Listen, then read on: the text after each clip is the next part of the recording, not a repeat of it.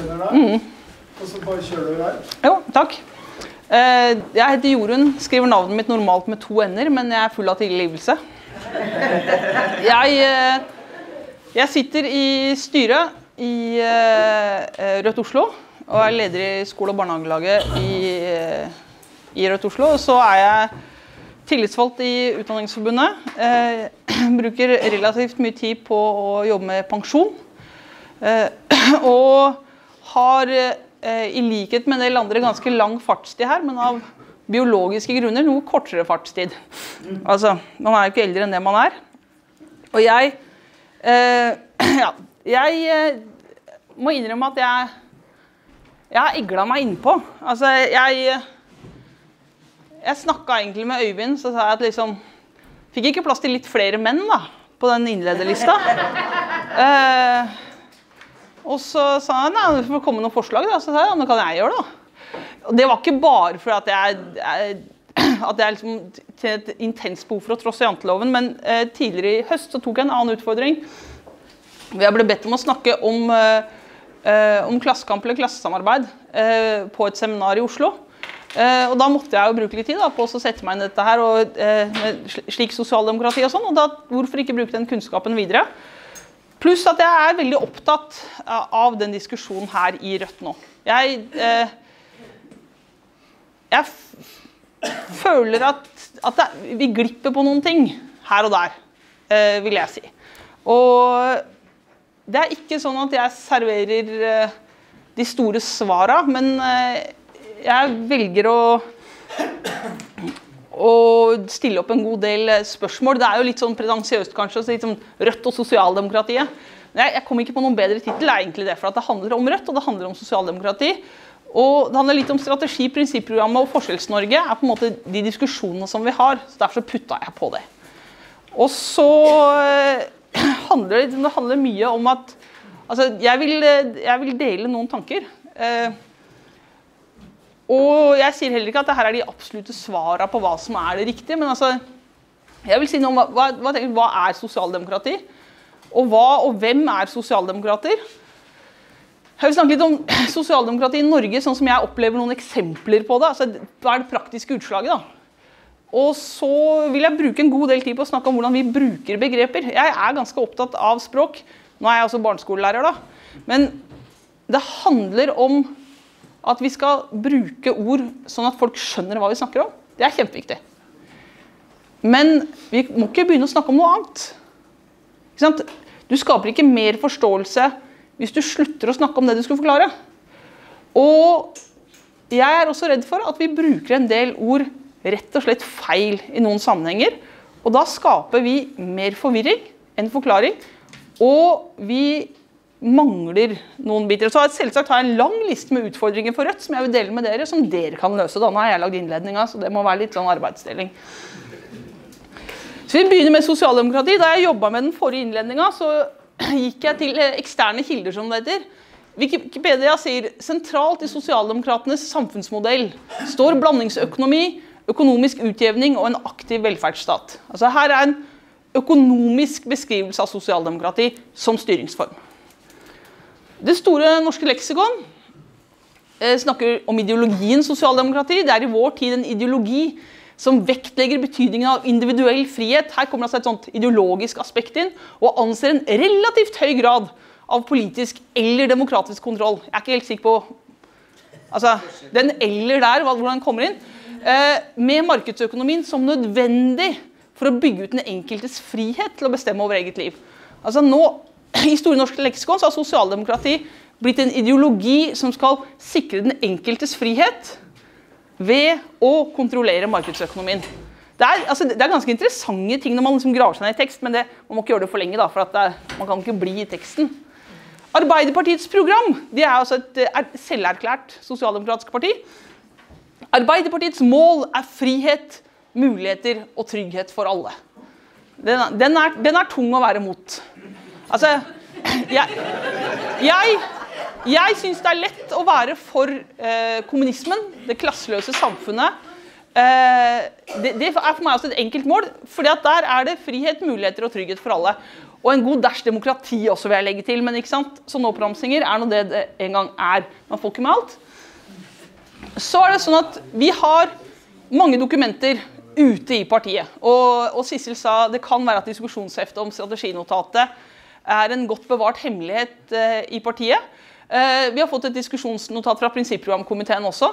Det kan være at det også er en godt bevart hemmelighet. Jeg vil prøve å bidra til å åpne opp og skape interesse rundt disse dokumentene. I det første diskusjonsnotatet vi fikk fra prinsipprogramkomiteen, så sier de bl.a. om sosialdemokrati at det er den reformistiske delen av arbeiderbevegelsen altså Her snakker vi om sosialdemokrati som noen, altså noen som gjør sosialdemokrati. Den reformistiske delen av arbeiderbevegelsen som ville avskaffe kapitalismen gjennom reformer i folkevalgte organer. Og jeg tenker at eh, Bricht dekka vel ganske godt hva den tankegangen går i. Eh, de sier også en annen måte å se det på. En ideologi for å beholde, men tøyle kapitalismen gjennom sosiale reformer. Det ligner en del på Wikipedia, men sagt liksom med våre ord. da. Men det er det samme innholdet. Du skal beholde kapitalismen, men den skal styres og kontrolleres. Sånn at det ikke blir så fælt. på sett og vis. Det er det som er den underliggende biten, er at det skal gjøres på en litt triveligere måte. Og så, For det her, det her er problematiseringa i notatet rundt, rundt hvordan ser vi på sosialdemokrati på forskjellige måter. Er det det de tradisjonelle sosialdemokratiske partiene til enhver tid står for? Eller er det det de sto for før? Altså Er faktisk sosialdemokrati som sådan knytta til de som kaller seg sosialdemokrater, og det de mener? På samme måte som vi sier nei, det var ikke kommunisme i Øst-Europa. Vi har en definisjon av kommunisme som et klasseløst samfunn. Da var det aldri et klasseløst samfunn. Det utvikla seg til grove undertrykkersamfunn. Men i mange suer så er det det de knytter til ordet kommunisme. Altså, Kommunisme er det kommunister gjør, på en måte. På samme måte som at mange har en misforstått eh, forståelse av begrepet kapitalisme. Eller kapitalist. Hvis du er litt kjip mot andre, og det involverer penger på vagt vis, da er du kapitalist. Eller enda bedre Nei, åh, dere i Rødt, altså. Dere, er, dere skal liksom, alle skal ha det likt. Sånn, jeg er kapitalist, jeg, vet du. Eh, du er ikke det, vet du. Du er kollega med meg. Det er ikke noe det, du blir ikke kapitalist av det. Og så kan dere smile og le. For at dere har en annen forståelse av ordet kapitalist. Men, men eh, en, den, den, vitsen slår ikke an på NRK i best sendetid, liksom. For det er som, ikke, ikke så mange som ler, da. Så, øh, og, og det her tenker jeg at det her er jeg, jeg, har ikke de store svara her nå. Men det, det, her må vi tenke for hvordan tenker andre, og hvordan bruker vi begrepene? Og ikke minst, eh, jeg syns Brikt holdt en fantastisk innledning. Eh, veldig, veldig spennende. Men han sa noe på et tidspunkt som var skikkelig, skikkelig feil å si. Og som ekstremt mange gjør. Han sa sånn Jeg husker ikke akkurat hva han sa men sånn, Det veit dere jo. Om et eller annet. Jeg husker ikke hva det var. Som de fleste sikkert visste, og som noen sikkert ikke visste. Sånn at når jeg sier dere ler av kapitalisme, jeg vet ikke om dere ler av det samme. Hva vet jeg? Om deres eh, forståelse av hva ordet kapitalist er det samme. Og i hvert fall i et parti med en medlemsvekst eh, hvor to tredjedeler av medlemsmassen er relativt ny, så må vi passe på og det, altså, Brikt sier sånn på en så trivelig måte at det er vanskelig å, å ta det ille opp. Men, men, det er sånn at sånn gjør vi hele tida. Vi, vi, kutter litt, og, så, og da ekskluderer vi Kanskje ikke sant? Hvis fem i en forsamling på 50 ikke visste det, og det var de nye, da sier vi at ja, vet du hva, du visste det ikke, nei, nei men vi andre veit det. Ja, Da er du litt utafor. Det er det vi sier da. Det er kjempeviktig. Ja, Det har ikke noe med sosialdemokrati å gjøre. Altså, Det er viktig overalt, alltid. Uh, men vi knytter veldig ofte ordet eh, altså sosialdemokratisk til noen personer og sosialdemokratiet på liksom et sånt menneskelig uttrykk. Og liksom, Sosialdemokrat, er det noe man kaller seg sjøl? Kan du liksom definere deg som sosialdemokrat? Du kan ikke bare kalle deg kapitalist. Det funker ikke. Men, men kan du si at ja, men jeg er sosialdemokrat? Ja, ut fra hvis Du da, det, du kan være sosialdemokrat. Eh, kan du kalle andre sosialdemokrat? Ja, det gjør jo vi villig vekk. Eh, vi har ikke spurt først alltid heller. Og så er det spørsmålet, er det, er det uttrykk for en politisk tilhørighet? Altså, jo, men sant, Vi sosialdemokratene det tror jeg at vi vil finne mange i, i AUF og Arbeiderpartiet som kjenner på at det er, det er vi. Og så, Og, så, og I den sekken er det veldig mange, og det er noen sosialdemokrater som mener veldig hårreisende ting, men de er liksom en del av det, det vi er. Deres vi for det. Og så har vi selvsagt eh, sosialdemokrati som en slags følelse. Altså det, er sånn, det er følelsen av å gjøre ting litt sånn ålreit og feire 1. mai og bruke litt røde flagg og synge noen gamle sanger. Altså er, og hvis du gjør det, og hvis du er med på det, så kan det ikke være så gærent, det du gjør. Er, ja, altså det, så kan man le litt. Dere fniser og ler. Men, men det, dette er også mye av den tankegangen som ligger i det at det, eh, det er mulig vi gjør fæle ting og litt dumme ting, men det er bedre at vi som har den gode følelsen av et fellesskap, gjør det, enn at høyresida gjør det. Altså, Bricht sa jo det at, det, er, det handler ikke om eh, at, at, man er slem eller dum når man havner i de posisjonene som SV og Arbeiderpartiet har gjort, men det, det, er, det er en nødvendig følge av den strategien man har valgt. Det er der man havner da. Og da blir det vanskelig å rettferdiggjøre en del av de tingene. Dette her møter jeg eh, nei, eh, Som tillitsvalgt i Utdanningsforbundet Oslo så er vi i en del diskusjoner med, med byrådet eh, i Oslo, som, eh, som, da består av SV og Arbeiderpartiet De Grønne. Vi diskuterer kanskje mest med SV Arbeiderpartiet. De Grønne har litt eh, altså, Skolepolitikk er ikke hovedfokus, da.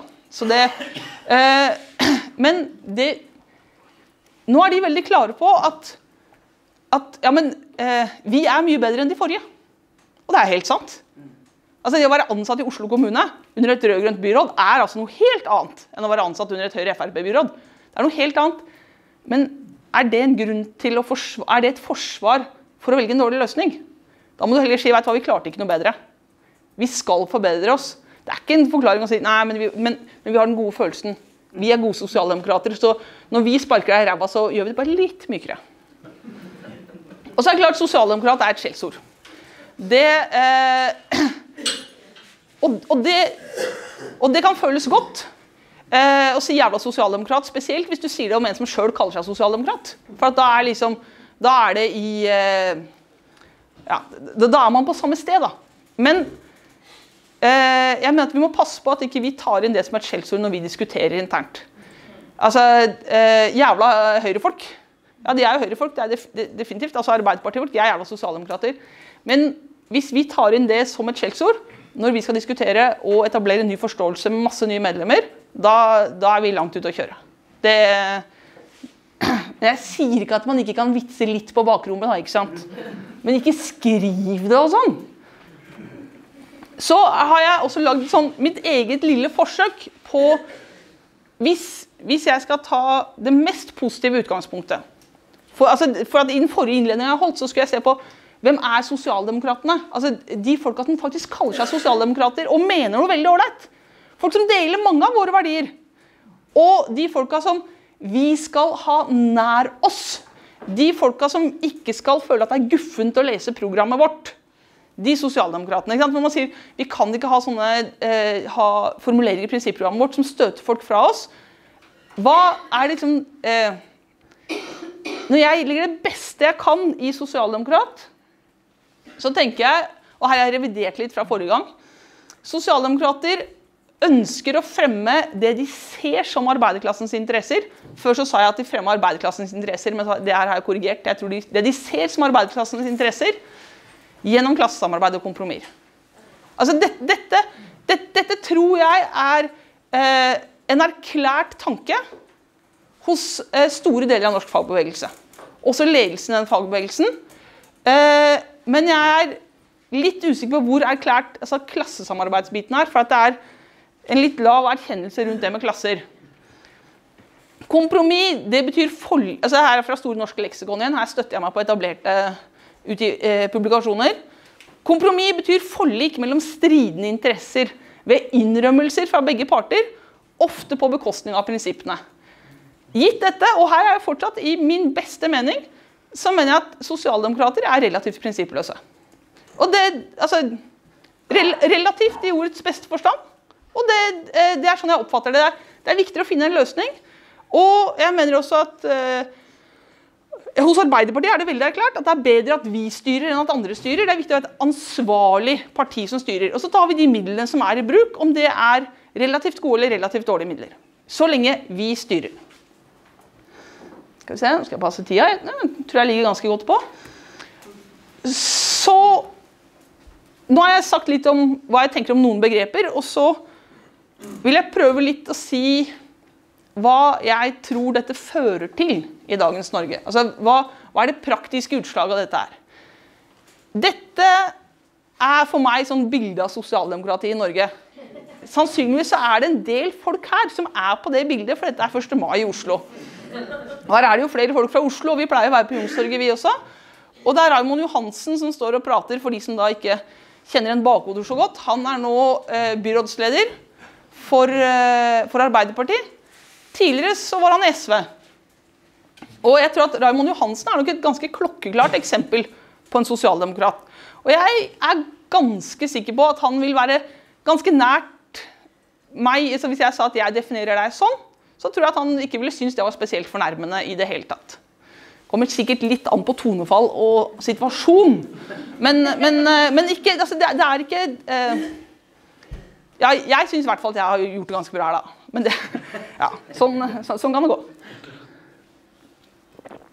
Men øh, det at vi alle sammen kan stå sammen på, på Youngstorget, og at noen ganger, hvis Arbeiderpartiet er i regjering, så er det gjerne, gjerne en statsminister som holder tale.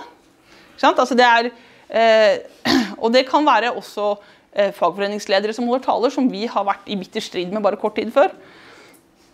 Og Samtidig så har også ideen om hva sosialdemokrati er, altså liksom, det siver litt, litt romslig ut fra, fra Youngstorget. Eh, her er en søt liten snutt. Eh, en konklusjon i boken som har vakt sterke reaksjoner fra Hadia Tajik, er at det som eh, Her kommer det et sitat fra, fra boken som kalles sosialdemokrati, står sterkt i dag fordi det på så mange områder har gått over til den moderate høyresidens ideer. Begrepet sosialdemokrati har dermed fått et helt annet innhold enn det det hadde da det sto sterkest strid om det. Jeg er usikker på om forfatteren da tenker tilbake på den striden som Bricht nevnte, hvor det var veldig sterk strid om begrepet sosialdemokrati. Eh, men den mannen som sier dette, er Kåre Willoch. Tidligere statsminister for Høyre. Han har jo hatt en del utvikling på sine eldre dager. Men, men også her sier han at, det, at den moderate høyresiden og altså, de praktiske løsningene man velger i den situasjonen, er veldig nært hverandre. Og det er klart at eh, Hvis Kåre Willoch sier sånt, så blir det jo det det gjør jo veldig vondt. Eh, altså det er mye vondere enn de beskrivelsene jeg kommer med. tror jeg. Eh, fordi at det er også en del av ideen. Altså, I den grad Jeg kommer tilbake til hvordan det her med klassemotsetninger tilsløres veldig. Men er det én motsetning som veldig skal løftes fram, så er det at Arbeiderpartiet og Høyre er to helt forskjellige ting.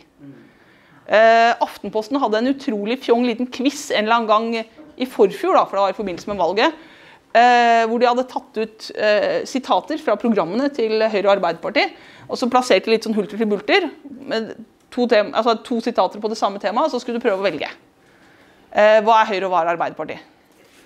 Jeg, altså jeg, jeg, fikk, fikk, jeg, innrømmer det var et middels resultat, og jeg var kanskje mest skuffa over at jeg bomma på det fagfeltet jeg kan best skole. Sånn at Høyre og Arbeiderpartiet er ikke veldig forskjellige. Eh, selv om Høyre nå gjør sitt beste for å, for å lime seg til Frp og dermed føle seg ganske mye mer forskjellig, og det er ganske motbydelig. Så, eh, så vil jeg da så, eh, prøve å se på uttrykk for, for sosialdemokrati i, i, praksis. På en måte, og her blir det jo litt sånn at jeg kaller andre sosialdemokrater uten at jeg har spurt. da. Og Da går jeg tilbake til liksom min definisjon. De som ønsker å fremme det de ser som arbeiderklassens interesser gjennom klassesamarbeid og kompromiss. Her er uklart hvor bevisst altså, man er rundt arbeiderklassen som sådan. Men altså, i hvert fall, la oss si hvis i fagforeningssammenheng medlemmenes interesser. Og så vil man kanskje ikke kalle det klassesamarbeid. Det kalles trepartssamarbeid og den norske modellen. Altså det at du har fagbevegelsen, eh, arbeidsgiversida og eh, stat og kommune. Det, det norske trepartssamarbeidet og den norske modellen. Det er det mest direkte uttrykket for klassesamarbeid som vi har. Men vi sier ikke at det er klassesamarbeid. Kanskje vi skulle begynne å si det litt oftere. Klassesamarbeidet gjennom trepartsmodellen. Ja, det, da, da må vi forklare både klassesamarbeid og trepartsmodellen. For det er helt sikkert også noen her da, som sitter og tenker Trepartsmodellen, ja. Ja, kanskje Ja, ja. Jo. Mm. Og det oppfordrer jeg folk til etterpå. Husk at her er det masse folk med masse erfaring. Og det er ingen spørsmål som er teite, og man kan få svar på veldig mye i egen gruppe. det er jeg ganske sikker på. Så tar jeg med fra prinsipprogrammet det som jeg syns kanskje var en veldig, veldig, tydelig og god forklaring. En ideologi for å beholde, men tøyle kapitalismen gjennom sosiale reformer. Og her, her, tror jeg veldig veldig mange som kaller seg sosialdemokrater, kjenner seg igjen. Altså, Kapitalismen går an. Det går an, Vi må bare passe litt på, liksom. Men så blir det noen utfordringer, da. For kan du få kompromisser mellom klasser hvis ikke det finnes noen anerkjennelse av at klassene fins? Altså, nå snakker jeg om et faktisk klassekompromiss. Et faktisk klassekompromiss. Da må du erkjenne at det finnes klasser, og at de klassene er, eh, er ulike. Og ikke minst så er det ingen som sier at klassene har ulike interesser. At det faktisk er klasseinteresser som gjør at det er, eh, er interessemotsetningene. Den store forskjellen går ikke mellom Høyre og Arbeiderpartiet. Og det her når man ikke sier det her, så er det vanskelig å forstå ganske mange ting. Det blir vanskeligere å forstå hvis vi ikke legger det her i bånn. Og så blir det da spennende, da. For hvem er det som skal inngå kompromiss? Hvor er det det kommer fra? Så Hvis vi ser på arbeiderklassen, så, eh, så fins arbeiderklassen i noen partiprogram. Ikke minst i vårt nevnes det. Eller så har vi sånn folk flest og sånn litt rundt omkring. Eh, og så blir arbeiderklassen nevnt i debatter på TV og i radio. og da, Det er som å snakke om en slags parallell virkelighet. Der er arbeiderklassen. De er, de er litt, litt, langt unna de som snakker. Det er veldig sjelden arbeiderklassen som snakker. Hvis Inge Yngve Haagensen kommer på, da, da kan jo alt skje. Yngve Haagensen, tidligere leder i LO, begynner å bli ganske gammel og si ting litt sånn rett fra levra. han hadde sist noen noen, eh, noen eh, småfrekke kommentarer eh, etter at tidligere kvinnelige forbundsledere ga ut bok om hvordan det var å være kvinnelig forbundsleder. Og da mente han at det var faen ikke, faen ikke bare våres feil hvis de ikke hadde det ålreit, liksom.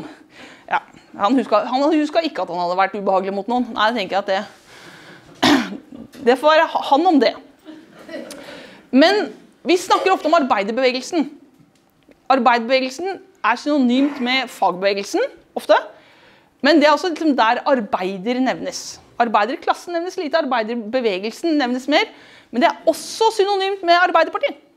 Det er veldig mange synonymer der. Og så er det litt uklart hvem av oss som plasserer oss sjøl i arbeiderklassen. Snakker vi om oss sjøl som arbeiderklasse? Er, vi, er det liksom en del av måten vi snakker på? Eller er det sånn at arbeiderklassen alltid blir de andre? Samme hvor mye vi er plassert i arbeiderklassen, sånn rent objektivt. Men det blir enda mer fiffig når vi skal se på motparten. De finnes altså nesten ikke noe sted. Veldig, det blir jo veldig guffent da. å kalle andre overklasse. Det er jo litt sånn derre du, du, bestemmer over andre, du hersker over andre. Så det er jo det er verre enn å si sosialdemokrat, liksom. Eh, og borgerskap det høres jo veldig sånn der, Var ikke den sånn franske revolusjonen altså Det er veldig langt unna. Og så har vi fått elite som et begrep. Men i elite det har blitt et skjellsord eh, for alle som man syns er litt ekle og kommer fra Oslo. Eller, eh, eller, en annen stor by i verden. Altså, det, det, er eh, nå, nå er jeg til at Mye av den, det sinnet mot det som kalles eliten, er helt berettiga. Men det trenger vi også se på i en klassesammenheng. Og vi trenger faktisk også skille mellom altså, Hvem er dette? Hvem er det man inngår klassekompromiss med? Hvor er interessene? Det syns ikke. Og når det ikke syns, så er det vanskelig å forklare, og vanskelig å forklare hvorfor vi skal slåss mot det. Jeg skal gå litt inn på et, et konkret eksempel som jeg kjenner godt, og da blir det pensjon. Eh, jeg skal ikke gå inn i detaljer i pensjon, så alle som nå tenker å herregud, det var jeg ikke forberedt på, Ta det helt med ro. Dette eksempelet kan du forstå helt uten å ane noe om detaljene i offentlig tjenestepensjon. Men skulle du ønske å få vite noe mer om detaljene i offentlig tjenestepensjon, så sitter Helge der. Kan vinke litt, Helge. Ja. Og Gudrun sitter der. ja. Og, og jeg er, altså, Vi kan alle bidra. Bare å spørre. Vi kan svare på nesten alt, eller henvise til en av de to andre. Men det her er eh, en av flere avisoverskrifter som har vært i forbindelse med pensjonsoppgjøret, som har pågått de siste åra. Fagforening advarer om storstreik etter pensjonsutspill fra NHO. Nok er nok. Eh, så skulle man tro at å ja, men her har vi en klar interessemotsetning. Det er jo fagbevegelsen mot NHO. Eh, bortsett fra at her er det altså fagforeninger i offentlig sektor som er forbanna på NHO fordi at NHO mener noe om tjenestepensjon i offentlig sektor. Så man er liksom sint for at de blander seg inn. Man peker fortsatt ikke på at eh, her kunne det vært naturlig å si da, at, at NHO har en klar interesse. Har en klar interesse av å få ned tjenestepensjonsnivået både i offentlig og privat sektor, og bare dytte ting ned. Men vi, vi snakker ikke om de, vi er liksom sinte på NHO for de er litt frekke og bryr seg. Og hvis vi da ser på, eh, på offentlig sektor, så kan vi da, i offentlig sektor der er det mye arbeiderklasse. Får vi øye på den arbeiderklassen? Hvis vi nå ser på, på de store fagforeningene i offentlig sektor, jeg tar ikke den største først, men jeg tar min egen først, Utdanningsforbundet. Det er lærere fra barnehage til universitet, så vi har høyere utdanning, eh, hele gjengen. Og så har vi skoleledere og barnehagestyre, så sjefene våre er også i stor grad, eller de nærmeste sjefene våre er i stor grad med i samme forbund som oss. Og så er det sånn at Fra den gangen lensmannen og presten og læreren var liksom bygd av statuspersoner, så er vi mer og mer funksjonærer på, på ganske stramt oppdrag. Vi har en beskjed om hva vi skal gjøre, og vi har eh, mindre og mindre kontroll over egen dag. Så gidder jeg ikke ta diskusjonen om akkurat hvem som er arbeiderklasse og ikke, men vi er definitivt ikke Vi er liksom ikke overklassen, da. Fagforbundet, her er det enklere. Det er de store gruppene på gulvet i kommunen. De er i Fagforbundet. Det er klart, det er en god del sjefer oppover i kommunen som er i Fagforbundet også. Men her er hjelpepleierne og miljøarbeiderne og renovasjonsarbeiderne og de kontoransatte og vaktmesterne. Altså, her er det arbeiderklassen i offentlig sektor. Den er helt, helt sikkert her. Og hvordan snakker disse eh, fagforeningene om seg sjøl? Altså, hva skal vi si? Sjølbevisstheten. Hvem er vi? Utdanningsforbundet eh, sier som partipolitisk uavhengig organisasjon skal vi ha rollen som eksperten i midten og jobbe for en best mulig politikk i alle partier. Vi må bygge på etablerte relasjoner, samtidig som vi søker nye veier for innflytelse. Her finnes det ingen interessemotsetninger. Dette er en definisjon som sier at her er det ulike synspunkter, og den som har det beste argumentet, vinner. Det er, det er, analysen her. Det er ingen som vil noe egentlig helt annet. Ikke vi heller, egentlig. Vi, vi vil det som er best. Altså, vi veit faktisk hva som er best, og vil det som er best. Og det vil vi bidra med både som profesjonsfaglig og som fagforeningsmessig. Men spesielt profesjonsfaglig, egentlig. da. Men dette står jo ikke der, men det er en opplevelse som jeg har som medlem. Men det Ingen, ingen vi mot dem. Vi skal være i dialog hele tida. Da må vi oppføre oss sånn at vi kan være i dialog. Hvis ikke mister vi innflytelse. Det er den innflytelsen vi kan få. Fordi vi og de er likeverdige. Og det er, det er med, med, de beste meningene vi når fram.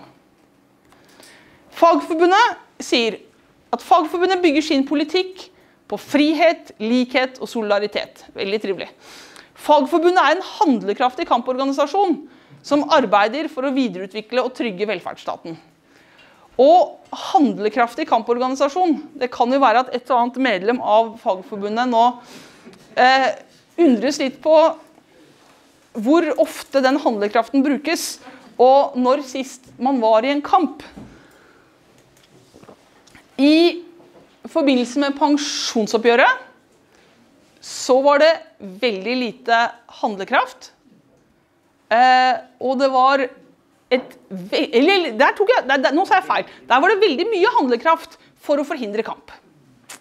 Ja, sånn det, så, så, det fungerte på en litt annen måte. Hvis vi ser da For interessemotsetningene Hvis man ser på nå, altså selv at nå tar jeg noen utdrag, ikke sant, noen få sitater. Jeg, jeg, har tatt en liten bit fra altså Det store internettet gjør det så lett å hente sitater som underbygger det du sjøl mener. Her er det klart at her kan man hente masse andre ting og sikkert se andre ting også. Men dette her er da eh, i, godt i forkant av, eh, av, forhandlingene. Men så, dette er ikke noe Ap og LO kan bli enige om seg imellom. Dette handler om pensjon. Også vi skal være med å forhandle. Kommentaren kommer fra Unio-leder Ragnhild Lid eh, i, i Klassekampen etter at LO og Ap i samme avis uttalte at de ville ordne pensjonsreformen dersom Ap kommer i regjering. Hvilken interessemotsetning ser vi her? Jo, vi ser en interessemotsetning mellom LO og hovedsammenslutningen Unio. Det er den interessemotsetningen som har sagt ja, skal ikke dere bare komme her og bare være LO, liksom. Vi skal også være med å bestemme. Så noen interessemotsetninger vises, men er det, altså, er det der Er det en viktig altså, motsetning som, som er, liksom, er, det jeg som Unio-medlem skal jeg slåss mot LO-medlemmer omvendt? Det, var det det som var den lure taktiske alliansen? Og så har vi et sitat fra eh, litt seinere ut i prosessen. Krever ny pensjon. Fagforbundet refser regjeringa for å satse på privat pensjonssparing i stedet for å løse pensjonsfloka i offentlig sektor. Og Dette er jo da eh, Fagforbundet som refser en høyreregjering. Så den som er litt sånn opptatt av politikk, og som vil si at ja, dette er Arbeiderpartiet som refser Høyre, egentlig. Det er en sånn underliggende motsetning. Men her sier vi fagbevegelsen mot regjeringa. Altså mot staten. Og siden dette handler om offentlig tjenestepensjon, så vil man si at det er ja, ja, nei, men det er jo det, Men her sier man eh, lite om hvem som har interesse av hva. Det er en floke som må løses, liksom. Så det, det er språk. Og jeg, ikke det at jeg tror at vi løser Klassekampen i Norge ved å få et annet språk og liksom skrive leserinnlegg om at det var ikke sånn det burde stå. Altså Det er ikke bare sånn at ikke det, det. Og så er det Hvor ble det av kampen? Og her eh, henger vi oss da på kamporganisasjonen Fagforbundet. Det var sånn at vi Det det sto om, var noen rammer som var satt av Arbeids- og sosialdepartementet for at vi skulle få en ny offentlig tjenestepensjon. Og de ble ikke utfordra engang. Altså, man, det var ingen gang som sa at eh, Her kunne man sagt dette har vi ikke interesse av. Dette er en formulering man kan bruke. Dette er ikke i vår interesse. Dette er ikke en formulering man bruker. Ett eneste spørsmål ble overført til den siste runden med forhandlinger. Det var tidligpensjonsspørsmålet, og der ble det fullt tap. Jeg, vet at det heter full seier, men jeg satt og skrev det, så ble jeg litt usikker på kan man si fullt tap. Men det var i hvert fall opplevelsen. da. Altså, Tap på alle fronter. Det er jo litt feil å si fullt tap når alle organisasjonene stemte enstemmig for det. Ja da, det, men, men, nå snakker jeg om mine interesser. Jeg tapte. Og mange, mange, mange, mange med meg. Og så er jo det det snedige, og noe av det som veldig bidrar til å tilsløre motsetningene, og som ikke bare skjedde etter eh, oppgjøret om offentlig tjenestepensjon, men som skjer stort sett etter hvert tariffoppgjør, eller hver gang man har forhandla et eller annet. Resultatet blir ikke bare akseptert, men det blir bejubla. Altså det er i vips, Nå er prosessen ferdig, og da har vi alle sammen felles interesser igjen. Da er vi alle på samme lag, og vi er alle lykkelige. Spesielt det siste. Uh, vi er fornøyd med å komme i mål etter en langvarig prosess. Ja, for det, er, det, var det viktigste å komme i mål. Ikke sant? Det er meg på skitur, det. Uh, medlemmene har nå gitt tilslutning til at offentlig sektor for en god og bærekraftig pensjonsordning som sikrer både de yngste og de eldste medlemmene, sier LOs første nestleder. Etter at det ble klart at et overveiende flertall av medlemmene sier ja. Ja, nå Det, er jo Uh, ja, det, jeg har bare klippet og limt, så det, her, ja, det burde nok vært overveldende. For at det var overveldende. Eh, nå er det mange her som ikke kjenner detaljene i den prosessen. Men vi var mange som jobba for eh, eh, et nei. Og eh, var, de hadde langt mer ressurser, de som jobba for et ja. Og de var ganske mer massive. Men se, se på språkbruken her nå. Vi er fornøyd med å komme i mål. Det er viktig. Det er i seg sjøl en bra ting å få et resultat. Og så har vi fått en ordning som sikrer både de yngste og de eldste medlemmene. Vi peker på én motsetning. Vi peker på én motsetning. Den går mellom de yngste og de eldste medlemmene. Der, der, der var det en interessemotsetning. Og det fiksa vi, dere. Det gikk bra. Det gjorde det ikke, da. Men, øh, og så er det det. Nå har et flertall av medlemmene stemt, og det er fantastisk. Uh, I Utdanningsforbundet så stemte 20% av medlemmene i den avstemninga. Sånn at ikke et overveldende flertall av medlemmene har stemt ja, men av de som deltok, Eh, nå husker jeg ikke, I NTL, altså Norsk tjenestemannslag i staten, der var deltakerandelen mye høyere, og debatten og uenighetene tydeligere også. Og i Fagforbundet så husker jeg nå ikke deltakerprosenten. Husker du?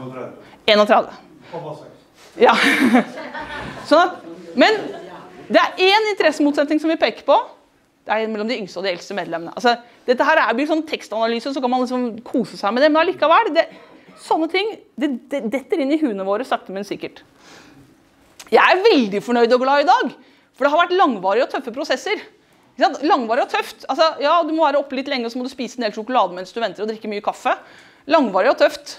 Eh, så kan du da spørre de, de uføre eh, når man kutter, eh, kutter trygdeytelsene, eller de som ikke får tidligpensjon, hvor langvarig og tøft det blir. Unnskyld meg, altså det, jeg, sånt provoserer meg. Eh, men nå har vi fått en god og solidarisk tjenestepensjonsordning for medlemmene. Det finnes ikke et problem lenger. Vi har fått løsningen, og da er det per definisjon godt og solidarisk. Nå er det i orden. Alle er på samme lag igjen. Ferdig. Uff, det var så kjipt å være uenig så lenge. Det vi ser, og dette er fordi at disse folka, altså Peggy Hesten Følsvik, Ragnhild Lid, eh, resten av eh, fagforeningsledelsen Dette er de folka som eh, vi omtaler og skal diskutere hvordan skal vi betegne denne gruppa i prinsipprogrammet vårt. Ikke sant? Er de våre allierte? Er de våre motstandere? Og det vi ser i sånne sammenhenger, så, og dette er jo alle forhandlingssammenhengene, da, så blir målet å forsvare egne posisjoner. Resultatet skal alltid bli at jeg gjorde noe bra. Jeg gjorde aldri noe feil som leder, rett og slett. Altså kan ha gjort noen småfeil, da. Eh, men det, da beklager jeg. Men på de store tinga så gjør man ikke feil. Man selger en nederlag som seier. Altså, vi taper aldri, og det er det fantastiske. Fagbevegelsen taper aldri. Det er bare enkeltpersoner. da. Og så framstiller man seier, som jo i realiteten er et nederlag, som et kompromiss. Her måtte, vi, her måtte vi møtes. Uh, og det var ikke mulig å få til en bedre løsning. Jeg er nesten sikker på at Hvis man gjør en sånn telling av setninger brukt etter tariffoppgjør, så er det var, det var ikke mulig Eller eventuelt varianten Vi kunne ikke komme lenger. Det var bare ikke mulig. Og det var det heller ikke i deres verden, for i deres verden så fantes det ikke en annen vei enn den lange praten med kaffe og sjokolade i pausene. Altså Det var ikke en annen vei, og da er det ikke mulig å komme lenger. Men det er også viktig å se innenfor hvilke rammer var det ikke mulig. Og så har vi den ideen om at alle har felles interesser, utenom de eldste og de yngste. Og, og så var det også det at man kan godt selge inn som noe de fleste kunne leve godt med. Eh, der har jeg min egen forbundsleder, Steffen Handal. Nå vet jo jeg fra erfaring med å sitte bak i salen at de som sitter bakerst, ser jo ikke dette. Vi velger å anbefale den, altså avtalen, pga. helheten. Den framforhandla avtalen gir flertallet en bedre pensjonsordning enn den avtalen som gjelder i dag. Selv om det er elementer vi ikke er fornøyd med. Flertallet, dere. Mens de som får minst er en annen ting at jeg nå er uenig i det med flertallet òg, men de som får minst, de får det verst. Og det kan vi leve med. Vi i den solidariske fagbevegelsen vi kan leve med det. Fordi at Det viktigste er å sikre flertallet. Da kan vi ofre mindretallet. Eh, for, for vi har alle sammen felles interesser. Eh, jeg skal OK, nå sliter jeg kanskje øh, litt på tid, men bare litt. Ikke mye. Du er fortsatt innafor. Ja, ja, jeg veit at jeg er innafor. Eh, nå skal jeg hoppe litt langt fra pensjon til å bare se litt mer etter klassene. For jeg mener at det er veldig vanskelig å, å, å komme videre i det hele tatt uten at vi er veldig tydelige på hva klasser er. Så eh, skal jeg leite litt videre etter, etter, arbeiderklassen. Dette er fra en demonstrasjon i, i USA. Eh, dette er eh, jeg, jeg, fant den, så det er et fint bilde, for dette er da sykepleiere som går i miljødemonstrasjon. Og så er det jo i veldig mange forskjellige farger. da. Så jeg følte at det som dekte alt, miljø og klassekamp og kvinner og antirasisme og alt, jeg er veldig glad i det bildet. Ja, Avsporing. Hva, hva, er klasseforskjeller i dagens samfunn? Snakker vi om det? Å ja, vi må det! Vi må snakke om det. Dette her er, dette synes jeg er et skikkelig gladsitat. Det er nær sammenheng mellom fullført opplæring, tilknytning til arbeidslivet og fattigdom. Dette handler om videregående skole. Altså Tilknytningen til arbeidslivet og fattigdom henger sammen med om du har fullført videregående skole.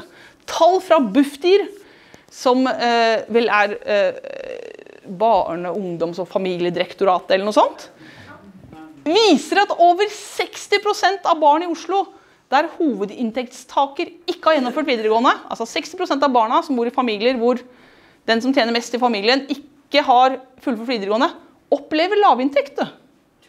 Man opplever lavinntekt. Det det, det er et uttrykk som man skal bruke litt oftere. Nei, men opplever du lavinntekt? Opplevd lavinntekt det kan være veldig negativt. Du skulle nok ha fullført videregående.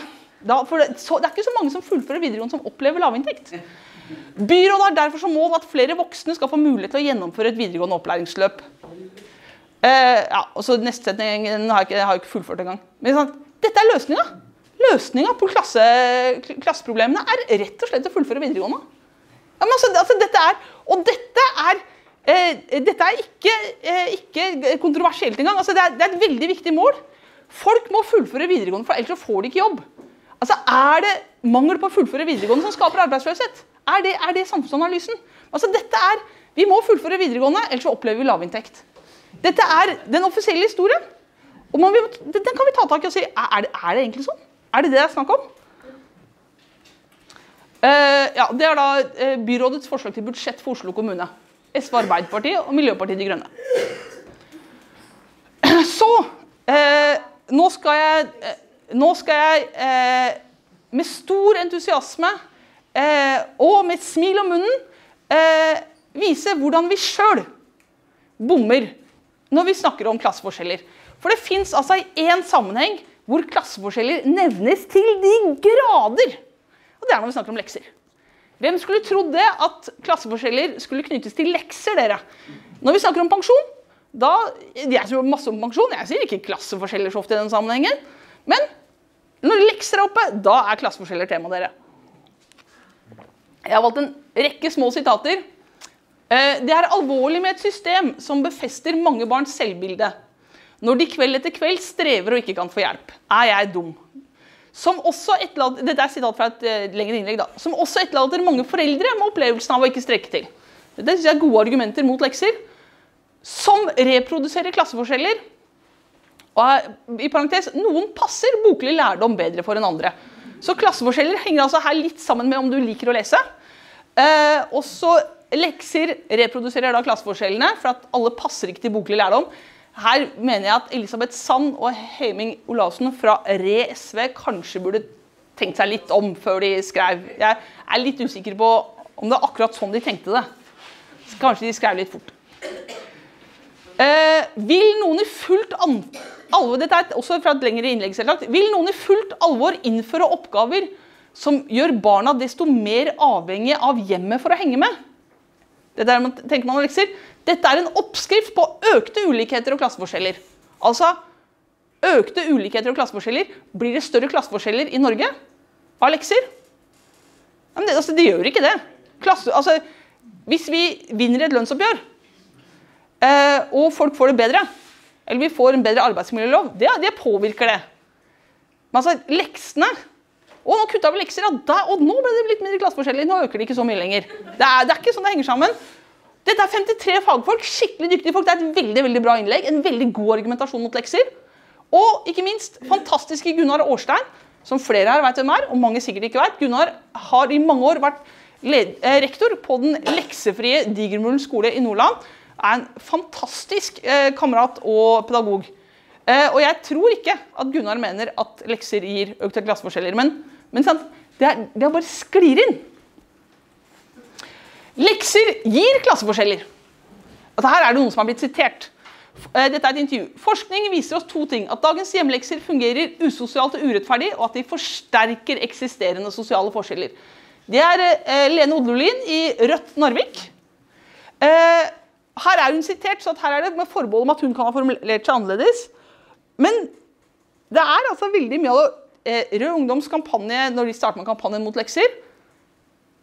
Lekser og klasseforskjeller limt sammen. Limt sammen. Og så er det jo litt artig at eh, dette har jo da gått inn eh, hos andre.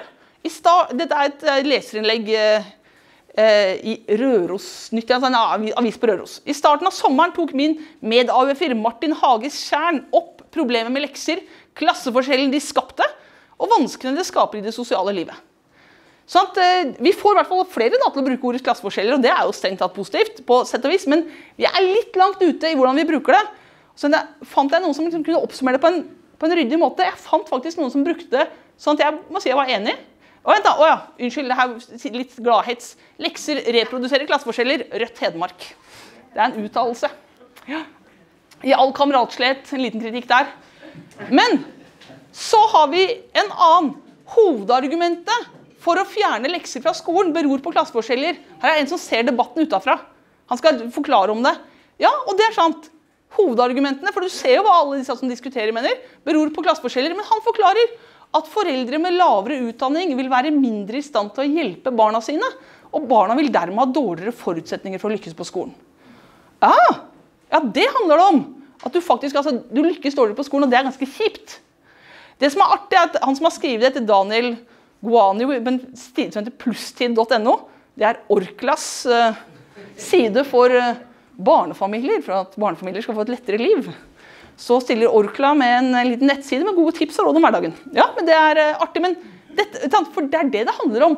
Det er ikke klasseforskjellene som skapes av leksene, men hvis du er i den klassen som kommer dårligst ut, så er lekser et uttrykk for reell og praktisk undertrykking, og det gjør livet ditt verre. Og fjerner du reell og praktisk undertrykking fra hverdagen, så får folk det bedre. Og det mener jeg er en veldig riktig kamp. Ikke tro at ikke jeg støtter kampen mot lekser. Det er djevelens verk. Er det? Ja, det er veldig lite analytisk, men Men det mener jeg. Og skal vi se Nå må Nei da, jeg ja, nå plutselig så Jeg trodde jeg hadde 25 lysbilder, så jeg var på 53 av 72. Da ble jeg litt svett, men så kom jeg på at det ligger inni hele. Eh, hva sier vi? Dette er fra diskusjonsheftet om strategi. Det som eh, Sissel er litt bekymra for at kan være en godt bevart hemmelighet. Kanskje vi nå får flere til å grave det fram. Eh, dette er veldig løsrevne sitater. Dette må jeg legge vekt på. Det er løsrevne sitater, så veldig mye mer der. Ikke tro at dette er et uttrykk for hele det diskusjonsnotatet. Det må ikke, det, sånn må dere ikke tenke om det. Men det står, og her har jeg understreka, framveksten av et Forskjells-Norge er vår største utfordring som samfunn. Det er, det er, en ganske stor setning å si, og sånn skriver man litt sånn i forbifart uten å men det er jeg veldig uenig i.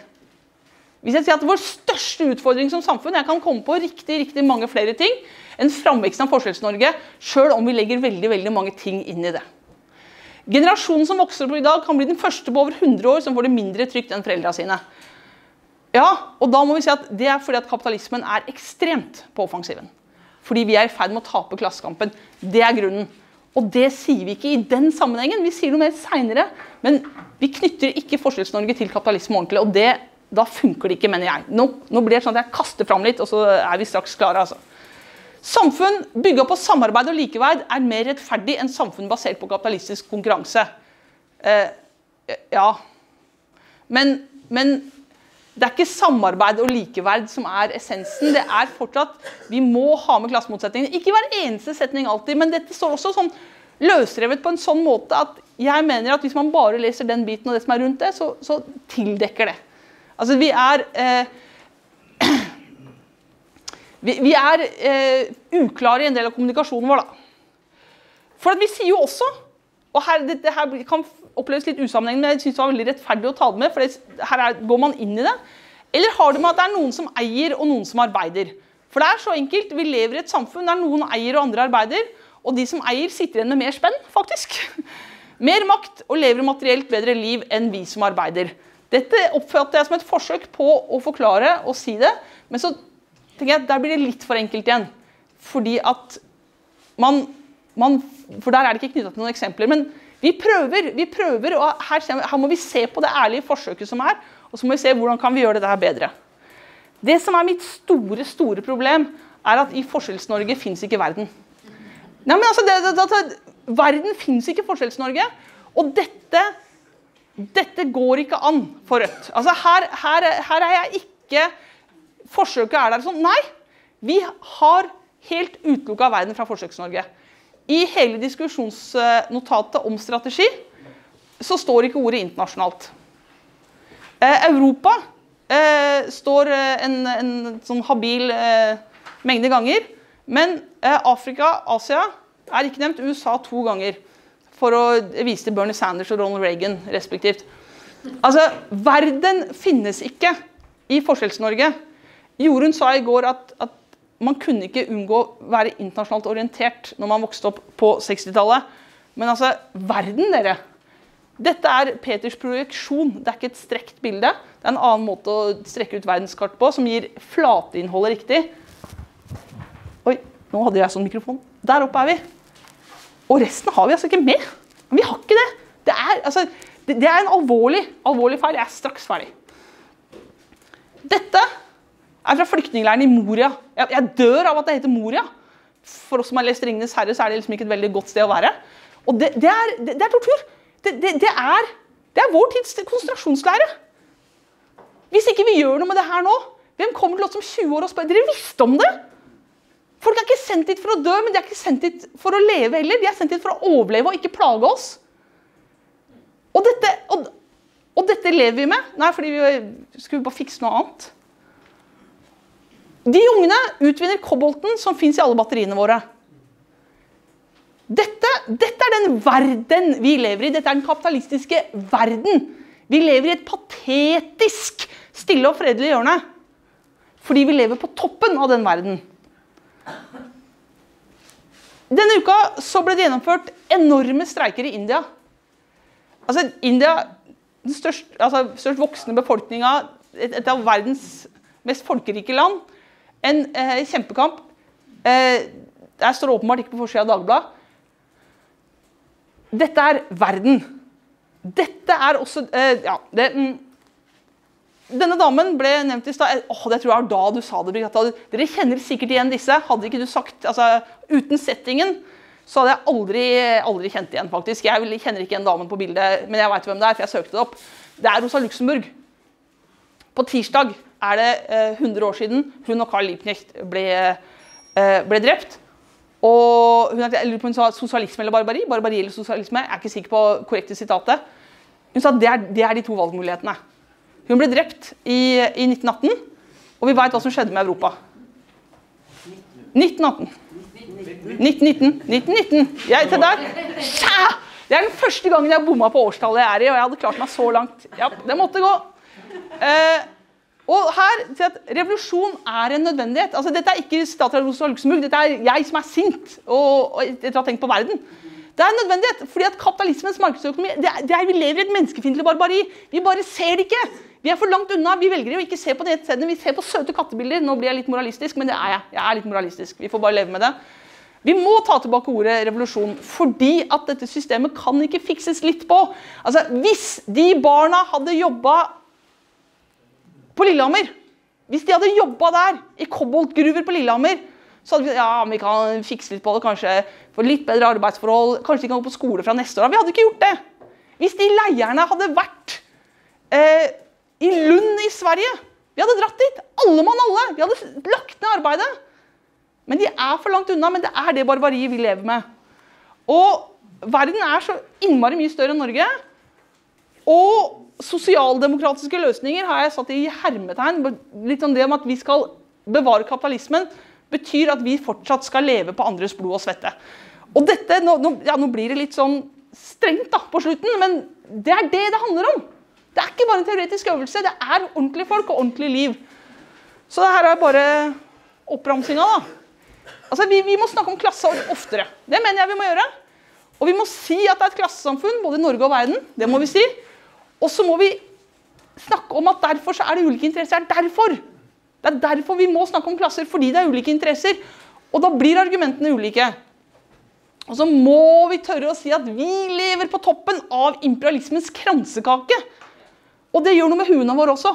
Det, det, gjør noe med hvordan vi tenker. fordi at vi risikerer ikke å bli drept i morgen, sånn på det jevne. Og så må vi passe på nye medlemmer og gi god og inkluderende skolering. Hvis folk ikke har skjønt det Nei, folk har ikke skjønt men de har tatt det valget. Tenk så mange som har tatt det valget som da Jorunn tok. Ah, sosialisme og sånn, og rettferdighet og sånn. Det er det partiet der. Jeg blir med. Ja. Og så er det sikkert mange som har tatt et mye mer eh, veloverveid valg enn det. Men hallo, de har valgt å bli med i det samme partiet som vi er med Det er sikkert, sikkert noen her som er at ja, det har jeg valgt å bli med på. Ja, men da, da tar vi den, da. Og så jobber vi ut fra det. Og så må vi også selvsagt være åpne for at vi må se på klassesamfunnet vi lever i, og vi må være åpne for nye analyser og se og forstå.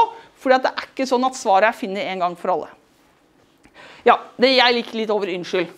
Og så ble det litt sånn voldsomt. Men Takk.